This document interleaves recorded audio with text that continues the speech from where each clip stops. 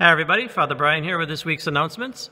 Uh, first off, in the bulletin, there are two inserts, and these inserts are both found on the parish website. The first one has to do with the upcoming treasurer trustee election. We have two people running. There's Doris Lamers and then also Brock Christensen. So the insert uh, is biographical information about each. So be sure to take some time and read through that, check that out uh, before the election. By the end of next Sunday, everybody in the parish will have access to a ballot.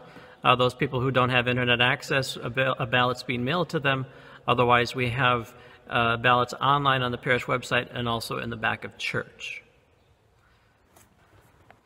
And then ballots need to be returned to the parish office or to the drop box in church by noon on the 23rd. Okay, so there'll be a week and a couple of days uh, for people to fill out their ballots and get them back uh, to the parish. And then the other insert in the bulletin is has information to do with masses for next weekend, the 13th and 14th. So important information there. Be sure you read that. Again, just a couple of points. Uh, the obligation to go to mass is still uh, not in place. So if you choose not to go to mass next weekend, that's fine. But if you choose to come to mass, there are certain uh, guidelines and parameters that we need to to abide by. So those are written down in this. Um, handout that's in the bulletin, which is also on the parish website. And if you haven't already, be sure to check out the video that's on the parish website. It's called the Mass Announcement video. Be sure to check that out. It's about 13 minutes long, but it has all the information you need to know. There's a little demonstration about how we're going to do communion.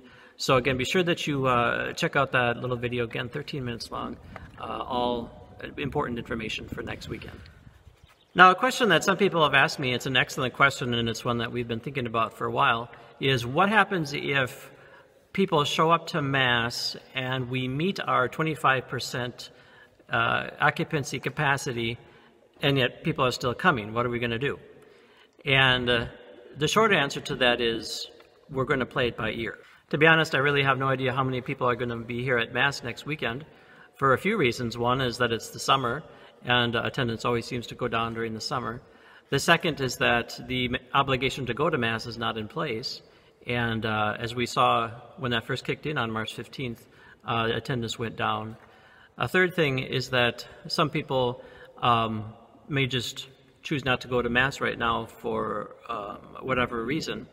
Uh, and then the fourth reason would be that we kind of anticipate that there'll be several of our older parishioners who are going to choose to just sort of wait to come back to Mass right now. So I really have no idea how many people are going to show up for Mass. So we almost have to kind of play it by ear. After this first weekend on the 13th and 14th, we'll have uh, a much better idea of how attendance is going to go. Uh, you know, whether we need to add a Mass, add two Masses, make some other changes. Uh, right now, this first weekend is really just sort of experimental, just to see how many people are going to are going to come to Mass. So if it looks like we're going to exceed our 25% capacity, we'll just kind of have to play it by ear, as I said. So, but just for this first weekend. So this will be a good opportunity to just uh, trust in the Lord that He'll uh, lead us through this. Um, he said something about not worrying about tomorrow uh, because the the difficulties of today are enough. So, uh, as I said, we'll kind of play it by ear uh, when we get there.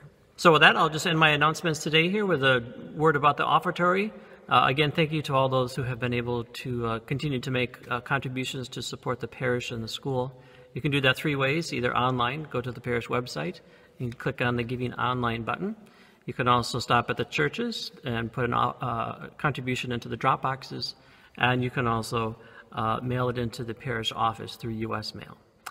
So, with that, I hope you all have a good week, and I look forward to seeing uh, many of you next week in the flesh. And uh, if not in the flesh, then on the other side of your television or computer screen. Have a good week.